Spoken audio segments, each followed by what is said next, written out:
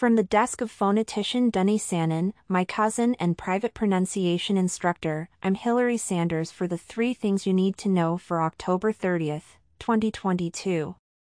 Paying close attention to the correct pronunciation of each word in this piece of verified information is of paramount importance. Let's get started. 1. World's dirtiest man dies at 94, reportedly not long after his first bath in 60 years. An Iranian man who hadn't taken a shower in more than 60 years died on Sunday, October 23, 2022 at 94 years of age, according to local reports. The man was known to his community as Amou Haji or Uncle Haji, an Iranian term of endearment for an older person. Most notably, he became known as the world's dirtiest man for choosing not to wash himself for six decades fearing he would get sick if he ever used soap and water, according to Iran's government-funded IRNA news agency, via AFP. In the report, Haji cited emotional setbacks in his youth as a primary reason for not bathing. Haji, who died in the tiny Iranian town of Dejgah and was from the southern province of Fars, washed for the first time several months back, according to IRNA, via BBC. IRNA also reported that years of not bathing left Haji with skin covered in soot and pus. He was seen in photos smoking multiple cigarettes over the years.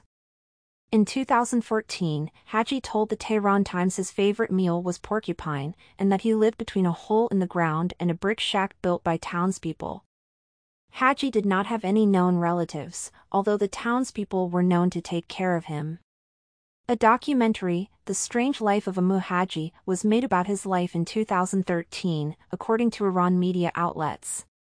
2 at least 153 dead and 133 injured in stampede during Seoul's Halloween festivities on Saturday, October 29, 2022. A mass of mostly young people celebrating Halloween in Seoul became trapped and crushed as the crowd surged into a narrow alley, killing at least 153 people and injuring 133 others in South Korea's worst disaster in years. Emergency workers and pedestrians desperately performed CPR on people lying in the streets after the crush in the capital's leisure district of Itaewon on Saturday night. Those killed or hurt were mostly teens and people in their 20s, according to Choi Seong-beom, chief of Seoul's Yongsan Fire Department. The dead included at least foreigners, the Ministry of the Interior said, whose nationalities weren't immediately released. The death toll could rise further as some of those injured were in critical condition. At least two U.S. citizens were killed in the stampede, the State Department told CBS News in a statement Sunday. Officials initially said 150 people were injured as of Sunday morning, October 30, 2022, before later lowering their tally.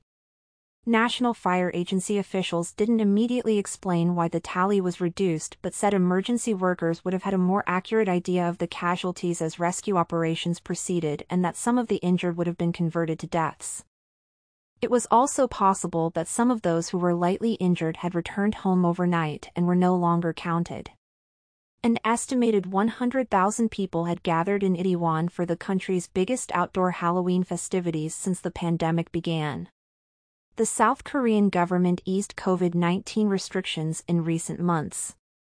Itaewon, near where the former headquarters of U.S. military forces in South Korea operated before moving out of the capital in 2018, is an expat-friendly district known for its trendy bars, clubs and restaurants.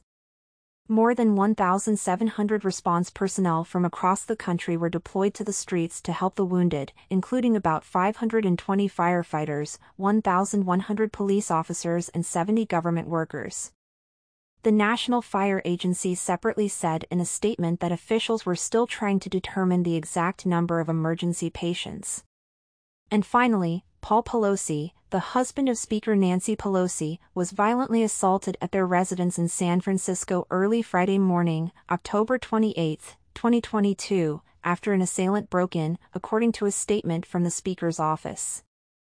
Nancy Pelosi was not in San Francisco at the time, according to her spokesman Drew Hamill.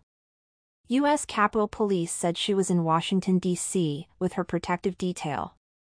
Paul Pelosi, 82, was taken to a hospital and is expected to make a full recovery, according to Hamill. Capitol Police said the San Francisco Police Department took the suspect into custody. That's all for today. Be so kind to stay tuned for tomorrow's current events on your language channel, Modern Languages for All, the safest place where you can develop your listening and speaking skills in the English, Spanish, French, Portuguese, and Haitian Creole languages. Take care and have a nice day. See you next time.